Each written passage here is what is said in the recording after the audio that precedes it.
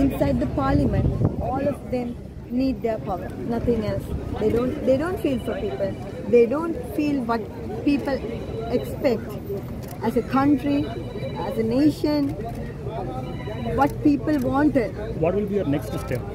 We are going to start our struggle against these corrupted governments again and again. I know more lives will we will lose more lives, but still this is our country. We have to struggle for that. Miss Damitha, you look disappointed. Why is that?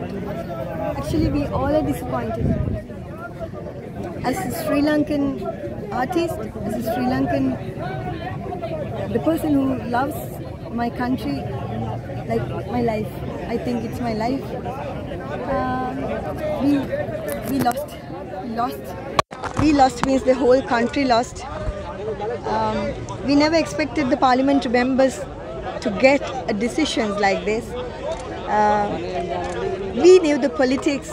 Politics is a game.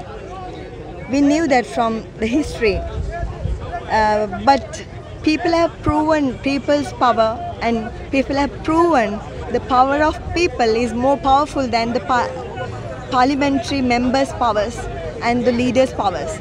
So people have proven that, but still, these people have no feelings for the innocent people in the country. These people have no feelings, and these people doesn't have any any of like soft corner for all these people who is struggling on the roads, all these people who is dying on the roads without food, without uh, fuel, without um, with like uh, it's like we are in a big inflation.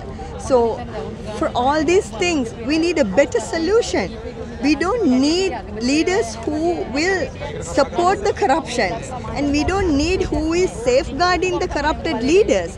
And we know this prime minister has become the president now. We know he will safeguard all the corrupted leaders and he will support corruption. Do you expect any violence on ground after this? We don't know. We have to we have to uh, keep our eye on that, and we have to be on alert. We don't know how. We don't know. This struggle is a headache for them. We don't know how they are going to uh, control us. We are expecting anything at any moment, but our lives we have already given to country, and we don't mind dying on behalf of the country. Thank you. Thank you. Sorry, ma'am. Um,